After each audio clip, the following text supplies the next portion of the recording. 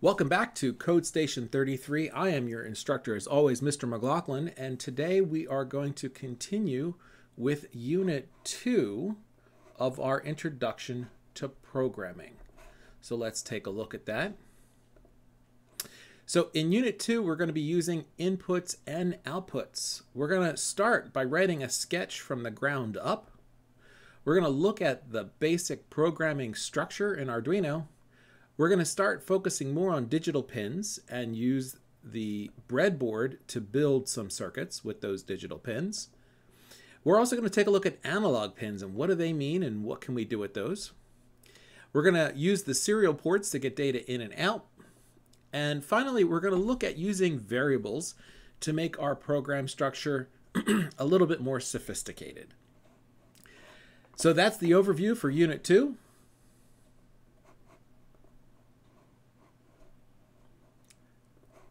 Thanks for watching. I'll see you next time.